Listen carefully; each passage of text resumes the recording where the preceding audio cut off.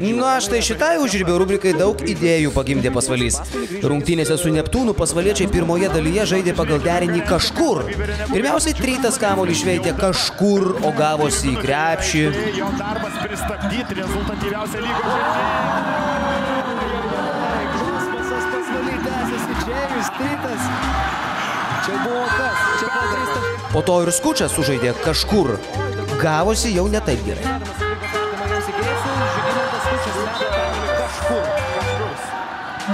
Kažkur pasivaikščioti kelis kartus buvo išėjęs ir arenos garso operatorius Algelis.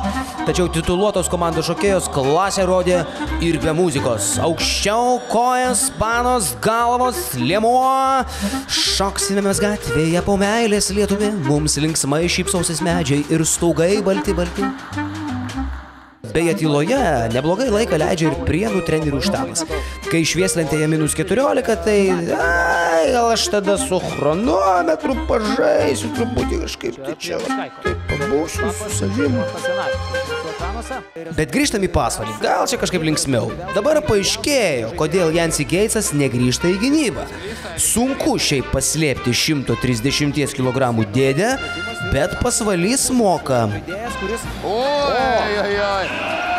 Daug irgi ką pasako apie Šiaulių gynybą. Pamenat jau minėtą derinuką pavadinimu kažkur. Tai Benas Griciūnas irgi neblogai įvaldęs. Ir Benas Gričiūnas kol kas e, pralaimi Oi, savo tiesioginiam varžovui. Klysta šiauliečiai ir nusivylęs Antanas Sireika. O Tomas Lekūnas akimirką pagalvojo. O gal tikrai gynyba tik silpniems? Ką man to reikia? Kas pirmiau? Višta ar kiaušinis? Kur aš? Kas aš? Lekūnas užmygo. Kol Lekūnas užsidarė savyje, Vaidas Čiaponis ir juokėsi, ir verkė. Daug emocijų. Nu labai jokinga situacija. Vaidas Čeponis negali atsigauti po, po paskutiniosios Šiaulių komandos atakos. Laikas nebuvo sustabdytas ir staiga Lekūnas sustoja, kažką pradėjo priekaištauti komandos draugui. Jeigu jūs, jeigu jūs dabar matytumėt Vaidą Čiaponį, jo akise blizga ašaros, štai čia dar kartą Igno Vaitkus Nelabai. e, taškai. Ir po to dar prie... O Lekūnas ir polime turi ką pasiūlyti. Dar kartą Tomo Lekūno fokusai. Oranžinio sviedinio virtuozas. Gerai, paliekam saulėtą pasvalį, gana. Galekiam dabar į Uteną, kur laksto Juventus ir Rytas. Gal klysta, gal nepataiko, gal ne viskas gaunasi, bet laksto, sportuoja, stengiasi.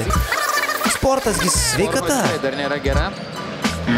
Ojojoj, kaip vėl klysta Juventus ekipa ir Šiauliuose irgi gera pabūti.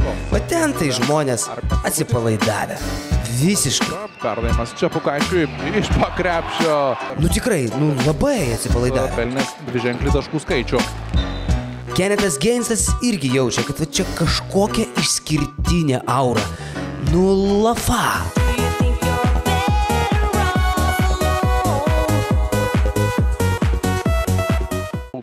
Tik per daug neatsipalaiduokit. O kaip ir viskas gerai, tik nereikia raganėt labai. O čia įspūdinga.